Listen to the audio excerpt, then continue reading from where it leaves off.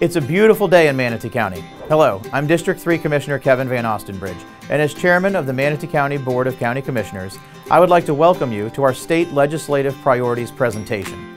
Here, you will learn about the exciting initiatives put forth by your county commissioners that will improve your quality of life and set a higher standard of living in Manatee County. And that's whether you have a beach house on Anna Maria or a barnyard out in Myakka. Joining us will be my colleagues, James Satcher from District 1, Amanda Ballard from District 2, Mike Rahn with District 4, Vanessa Baugh representing District 5, and our two at-large commissioners, Jason Bearden and George Kruse. Now let's get to work. The negative effects of traffic congestion go beyond lost time and wasted fuel. It makes emergency response longer, increases stress, and decreases the time with your family. That's why our top appropriation requests have to do with limiting the time you spend in your vehicle. Starts with widening three miles of Fort Hamer Road from two lanes to four, from the Manatee River to US 301 in one of the fastest growing areas of Manatee County.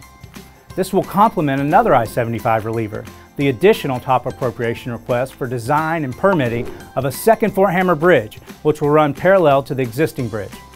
Let's minimize traffic time, maximize family time by providing the longest continuous north-south route east of I-75 in Manatee County. And it's not just north-south traffic we're focusing in on. Our top appropriations request the funding needed to combat inflationary cost and global supply chain pressures for the already in progress 44th Avenue East Connection project. Once finished, this continuous route from Bradenton Beach to the east edge of suburban Manatee County will be a key reliever for State Road 64 and State Road 70. And if you live north of the river, good news. We've already received $7.5 million for segments one and two of our massive two to four lane Moccasin Wallow expansion project. And now we're asking for additional funds to get the ball rolling on segment three.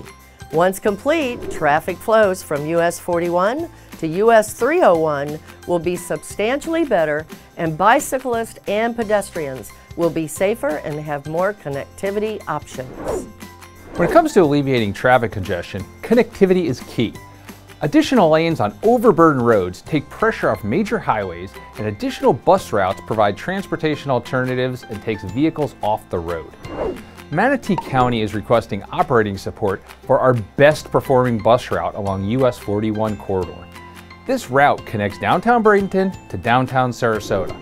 The requested operations support for this route will double pickup and drop-off frequency and decrease travel by 50%. How do you feel about more transportation options and a reduction of traffic on US 41?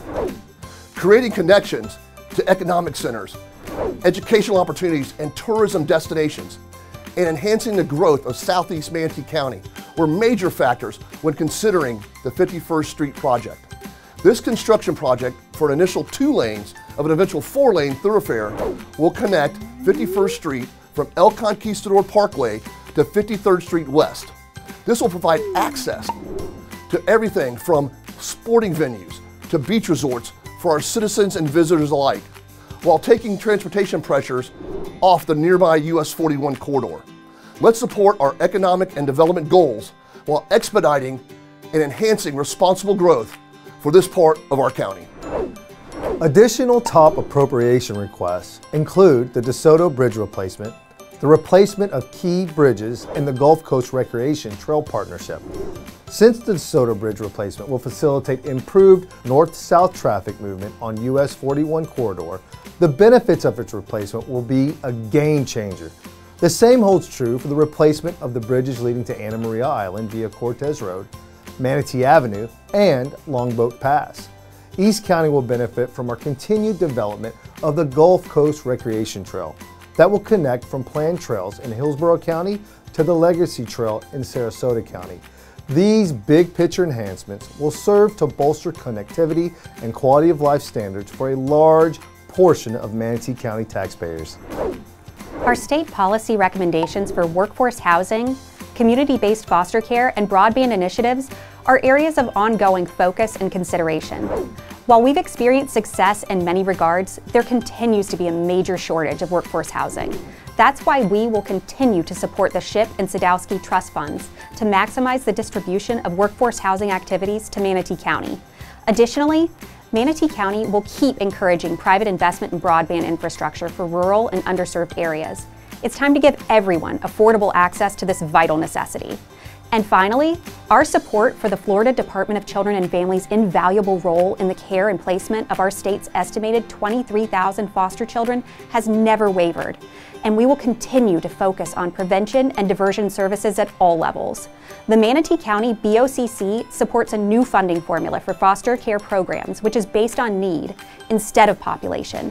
This approach will ensure that state money follows the needs of the most vulnerable members of our community. On behalf of the Manatee County Board of County Commissioners, I would like to thank you for your time and interest in local government. Even though there is a lot of hard work ahead, we are confident that these bold initiatives will continue to make Manatee County the premier place to live, work, and play.